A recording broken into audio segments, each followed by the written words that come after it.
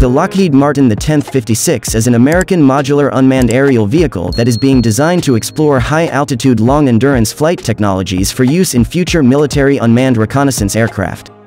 The aircraft was created by Lockheed Martin's Advanced Development Programs, also known as the Skunk Works, and was originally made public by Aviation Week. It will be used to study active flutter suppression and gust load alleviation technologies.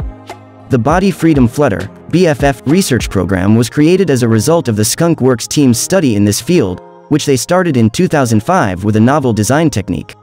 Through the development of a novel design paradigm of active control, their research showed that flutter behavior can be precisely predicted and addressed. A series of flight tests showed that this active control technique increased BFF speed by 75%. Flutter happens when the structural dynamics of a vehicle and the aerodynamic forces operating on an aircraft during flight combine, are couple, to produce an often violent harmonic vibration. The accompanying vibration leads to a potentially disastrous situation that could practically break an aircraft's wing or tail surface off. Simply put, picture a flag on a pole. Although the wind has a defined speed, the flag's structural characteristics cause it to wave irregularly from side to side. It typically bends, dips, or swells. The flag is essentially undergoing induced flutter when the circumstances are ideal to make it pulse. The flag can be torn from the pole if the wind is too strong and the grommets are stitching break. Since practically the very beginning of powered flight, flutter has been recognized as a danger. It can be challenging to correctly predict the flutter-causing conditions even after more than a century of aircraft design experience. Historically, flutter has been addressed by aircraft designers by attempting to prevent it, using strategies like adding structure. Even at conditions well outside an aircraft's typical operating flight envelope, the natural inclination of structural dynamics and aerodynamics to couple can be avoided by including enough stiffness in a particular structure.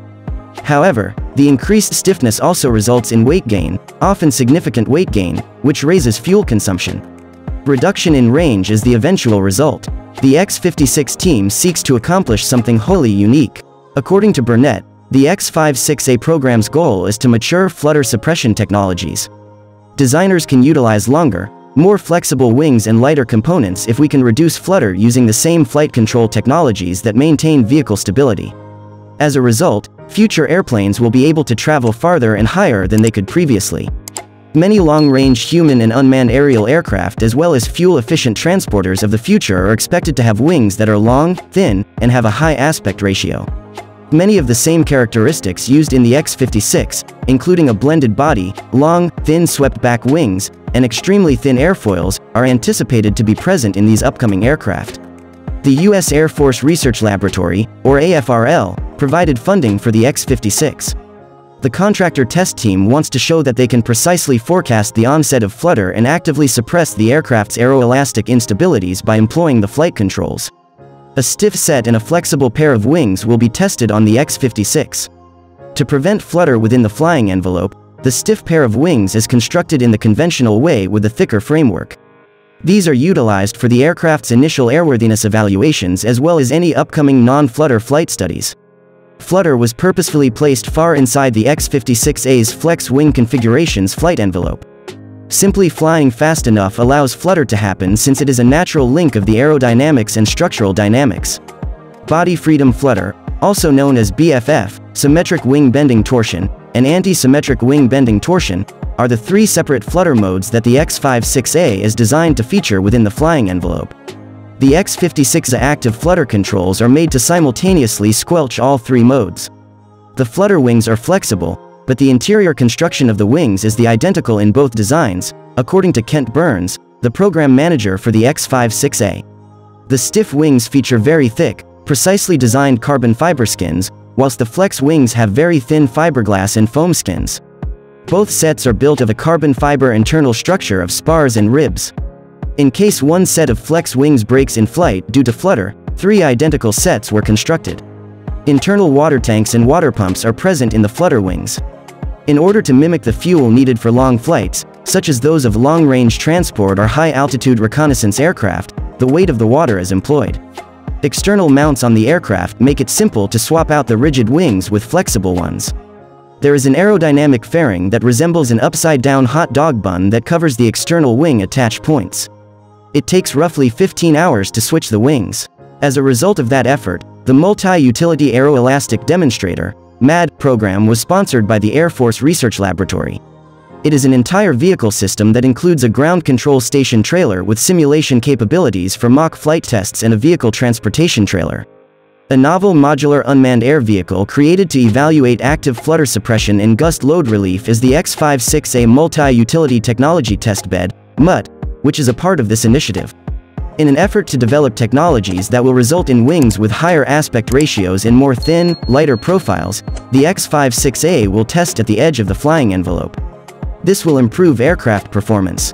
The Polecat, Sentinel, and Dark Star UAVs, as well as early Lockheed UAV work, are all influences on the X-56A. The program calls for the construction of two 7.5 feet long fuselages and a wingspan of 27.5 feet, with four sets of wings being constructed for flight testing. On July 26, 2013, the X-56A made its maiden flight from Edwards Air Force Base. 20 further flights on behalf of the Air Force Research Laboratory were required before the plane was turned over to NASA for additional testing. To capture the flutter events, additional cameras mounted on the X-56A composite fuselage are directed outward toward the wingtips. To offer a visual reference for calculating the amplitude of the flutter, a grid pattern is painted on the interior of the wingtip. The X-56 has a top speed of 150 knots, however the flexible wings cause flutter to start at around 110 knots, which is still well inside the flight envelope of the ship.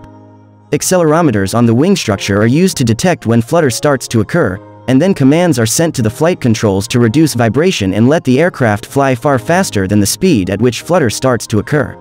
On November 19, 2015, the first flexible wing X-56A unmanned aircraft crashed at Edwards AFB in California, suffering catastrophic damage shortly after takeoff.